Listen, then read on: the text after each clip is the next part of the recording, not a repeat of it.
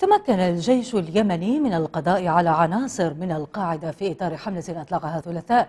في الجنوب تستهدف تصفية المسلحين وكان الجيش اليمني قد قام بتنفيذ عملية أمنية واسعة على المستويين البري والجوي أسفرت عن مقتل وأسر العشرات ومصادرة بعض الأسلحة والمتفجرات والسيارات. في محاولة للقضاء على التنظيم المتشدد الذي قتل مئات الأشخاص منذ عام 2011 أعلنت وزارة الدفاع اليمنية مقتل ستة من عناصر القاعدة في معارك عنيفة جنوب اليمن حيث يتابع الجيش حملة عسكرية واسعة النطاق ضد معاقل مسلحي التنظيم. وذكر موقع وزارة الدفاع أن قوات الجيش اليمني دمرت سيارات في مديرية مفعى وعزان بمحافظة شبوة ما أدى إلى مقتل وجرح من كانوا على متنها. وأكد وزير الدفاع أن الحرب على الإرهاب مستمرة حتى القضاء على جميع عناصره. وبذلك ارتفع عدد القتلى في العملية التي أطلقها الجيش الثلاثاء في محافظتي أبين وشبوة الجنوبيتين إلى 42 قتيلا منهم 21 جنديا و21 عنصرا من القاعدة.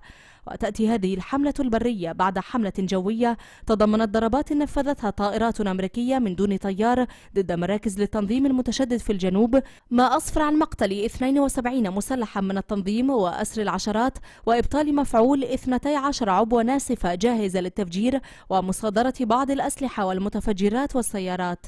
إلى ذلك أعدم تنظيم القاعدة أمس ثلاثة جنود كان اختطفهم في جنوب اليمن وعثر سكان على جثث الجنود الثلاثة وعليها آثار للتعذيب قرب تقاطع في عتق كبرى مدن محافظة شبوة. والجنود الثلاثة هم ضمن 15 عسكريا خطفهم متمردو القاعدة في اليوم الأول للعملية العسكرية. وأفرج عن جنديين من المختطفين بعد تعرضهما لضرب مبرح وما زال مصير العشر الآخرين مجهولا. وبعد العثور على الجثث نفذ الجيش انسحابا تكتيكيا وتراجع إلى شرق عتق.